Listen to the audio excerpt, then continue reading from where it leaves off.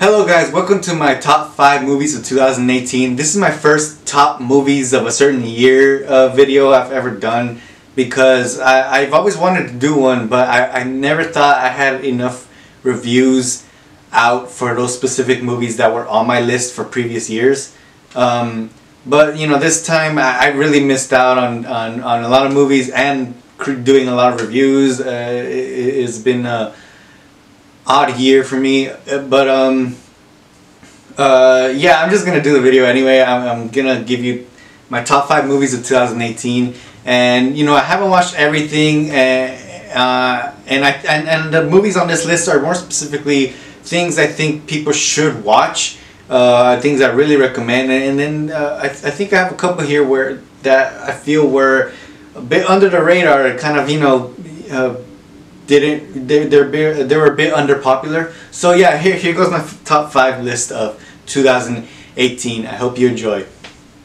Number five in my list is a movie that I had trouble liking at first because I was a bit confused and I, I don't think this is in enough people's top five or ten lists. Uh, I think it is underrated and I can see why too. Uh, my number five spot goes to Annihilation. I thought this was an amazing sci-fi movie. Uh, but the first time I watched it, I was a bit confused, not about the movie, but about my feelings for it. I didn't know how to feel about it at first. But this is what made me love this movie. It's it's the it's the fact that it made me think about it for like a month. Like I couldn't stop thinking about it, you know. And honestly, it's not. It wasn't a bad movie. You know, when I finished watching it, I was like, "What? What did I just watch?"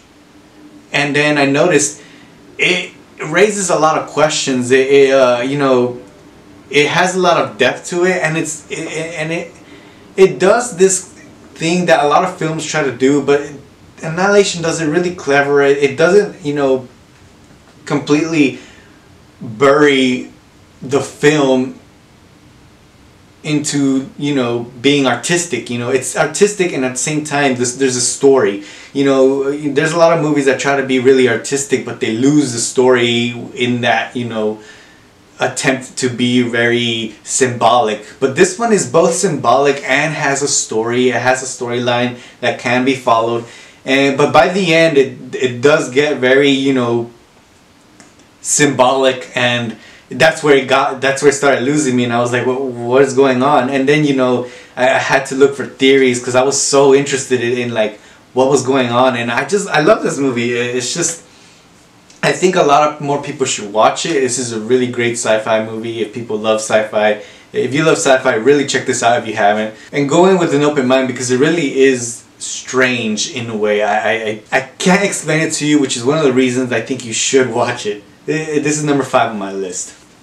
Number four on my list is Avengers Infinity War. I think this is a movie that mm, people, every fan of comic book movies, especially Marvel, you know, cinematic universe movies, should watch this. This is a movie that was built up from the first Avengers and, you know, you're really missing out if you if you if you haven't watched it and I think you should. I think this movie uh, did what was almost impossible actually. You know, the buildup of 10 years and to be this good. Uh, I, I, was actually surprised. I, I felt like, you know, before, you know, I went to watch it, I felt like it was going to be disappointing because that's 10 years of buildup, you know. Uh, I could get this, anyone could be disappointed, and I think a lot of people were. But uh, in, in my opinion, I think they did an incredible job with this movie, and uh, I can't wait for Endgame. But uh, yeah, this is number four on my list. Number three on my list is A Quiet Place. A Quiet Place is a type of horror that I just I have a love for, and that is a horror. You know, it's not ghost horror, but you know, creature horror. I, I like horrors with creatures in them. You know, especially when there's a military involved fighting the creatures. But this one, you know, it, it's a family, and uh, I mean the way I described it was, you know, that Jurassic Park scene in the kitchen. It's that, but the whole movie.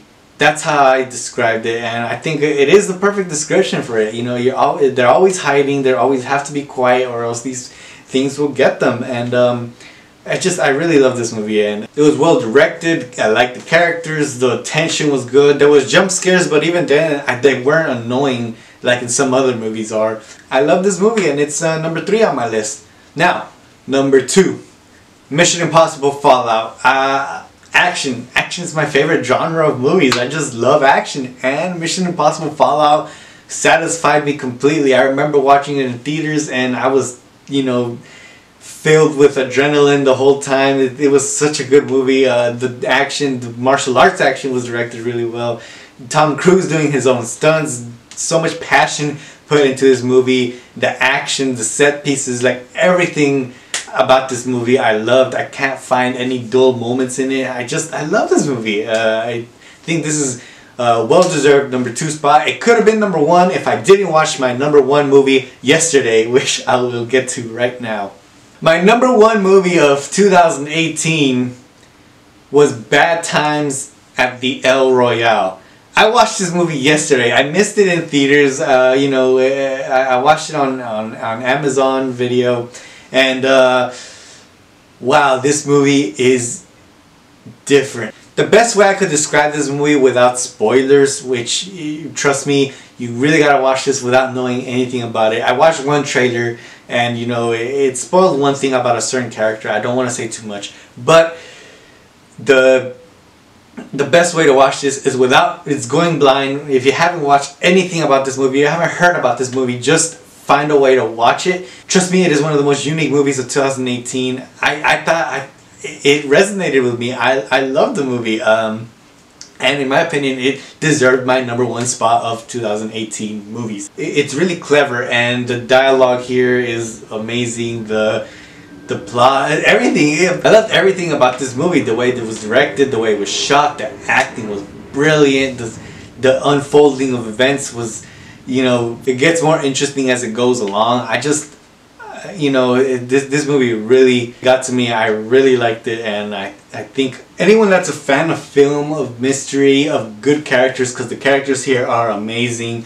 uh, good writing, dialogue. I think everything about this movie is amazing, and uh, really check it out. And if you if you have any way to check it out, please check it out. Please support this movie. I was too late to support it in theaters. I regret that. This movie would have been amazing there, but uh yeah, find a way to watch it. I think this is a must watch of 2018 and it rightfully deserves my number one spot. Now that was my top 5 list. I want to know what your top 5 or top 10 movies of 2018 were. If you agree with my list or not, I want to know too. I just, I'm curious what everyone thought. Um, I'm surprised Bad Times at El Royale is actually not in, in, in enough top uh, top list of 2018. But yeah, uh, please let me know what you think and if you enjoyed this video, please like, share, and subscribe. And I'll see you guys next time.